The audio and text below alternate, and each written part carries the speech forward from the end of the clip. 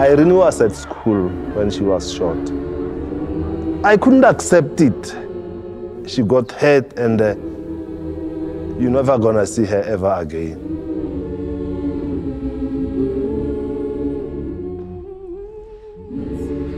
During the peaceful march of 16 June 1976, police responded by suddenly opening fire on gathered school children.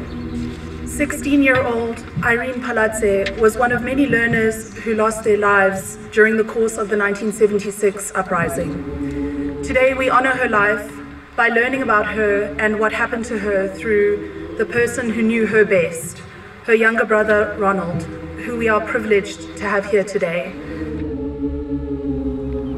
The student we will be honoring today at Krugersdorp is Noble Vabasu.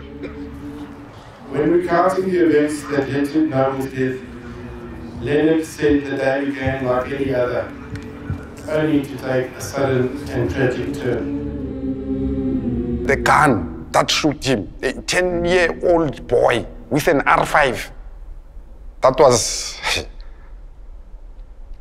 you know,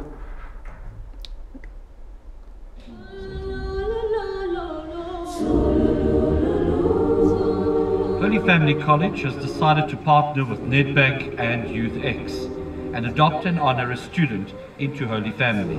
His name is Karabo Maloy. I see my son's name on the honors board. He's right there in a wall to be seen by everybody. I'm pleased, I'm happy. Telling these type of stories, I, I think is fundamentally important in making people feel acknowledged. If kids in 1976 could fight against a police state being shot at,